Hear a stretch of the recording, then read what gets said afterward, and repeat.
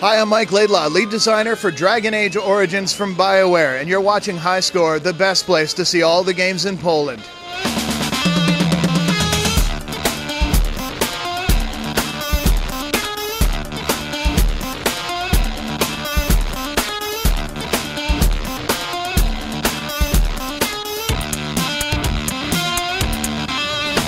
Co prawda lato już za nami, ale jeśli chcecie powrócić do rajskich tropików i nie jako turysta, ale dyktator, to taką możliwość będzie posiadała gra Tropico 3.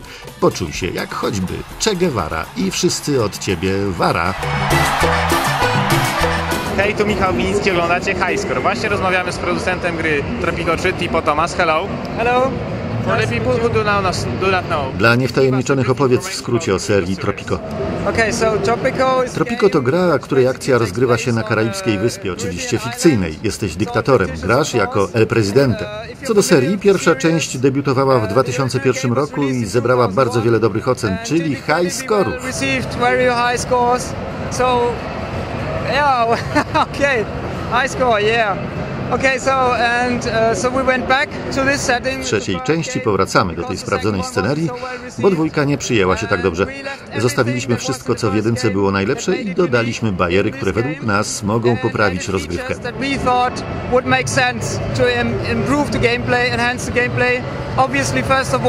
Po pierwsze, mamy trójwymiarowy silnik. Gra jest tworzona przez Hemimont Games w Sofii, Bułgarii. Oni są autorami Imperium Romanum i Grand Ages Rome. Znają się na trójwymiarowych grach strategicznych i symulacjach ekonomicznych. Sądzimy, że będą mogli dobrze oddać atmosferę tej gry.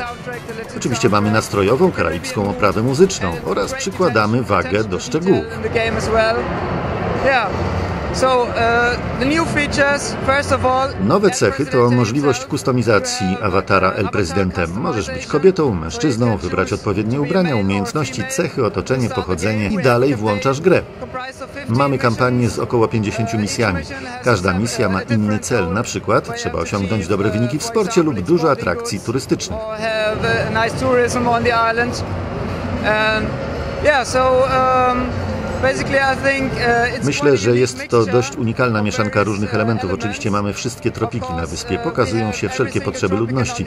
Możesz być zbawieniem narodu i zadbać o wszystkie potrzeby, aby społeczeństwo było silne. Albo możesz być nikczemnym dyktatorem, który na przykład zabroni wolnej elekcji. Oczywiście musisz wtedy mieć silne wojsko. as dictator, obviously, and he decide not to have elections, for example.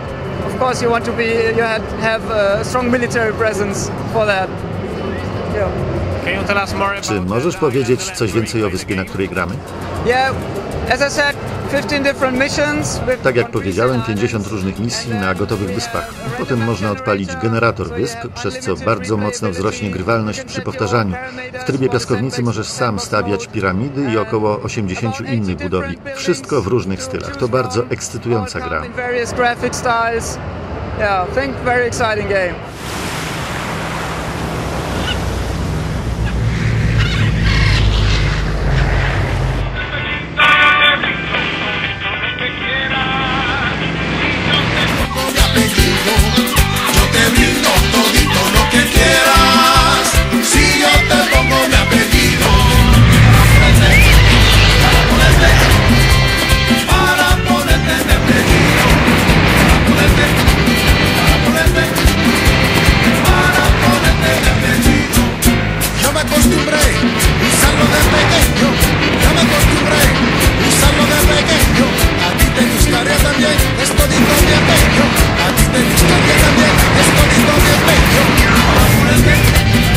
Jak długa będzie rozgrywka w trybie jednoosobowym? Ciężko powiedzieć, bo właśnie jedną z cech gry jest to, że gracz sam wybiera tempo. Jeśli chcesz się zrelaksować, to możesz zatrzymać czas gry i zastanowić się, co robić dalej. Możesz przyspieszyć czas, aby wzrosło tempo produkcji i szło szybciej. Koniec końców sądzę, że kampania da jakieś 30 godzin gry, a potem będziesz już gotów na tryb piaskownicy. I would say, all in all, the campaign should give you about 30 hours of gameplay, and then you're ready for the real thing, which is the sandbox mode.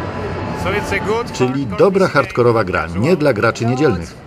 I tak i nie. Sądzę, że przygotowaliśmy dobry tutorial dla początkujących. Wszystkie elementy gry są bardzo dobrze wytłumaczone.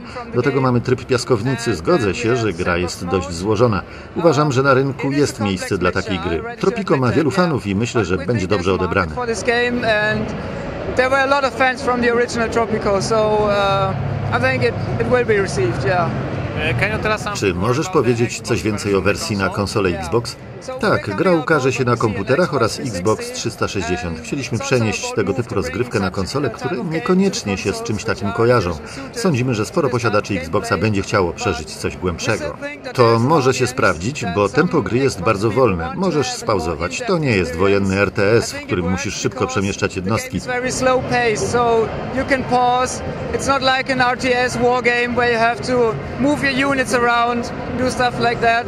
So um, the controls obviously adjusted to the controller. Sterowanie jest dopasowane do pada. Lewą gałką ruszasz kamerą, prawym analogiem przybliżasz i oddalasz. Menu budowania jest oparte na kole, więc łatwo można przewijać. Z pustami skaczesz po kategoriach i wybierasz budowlę.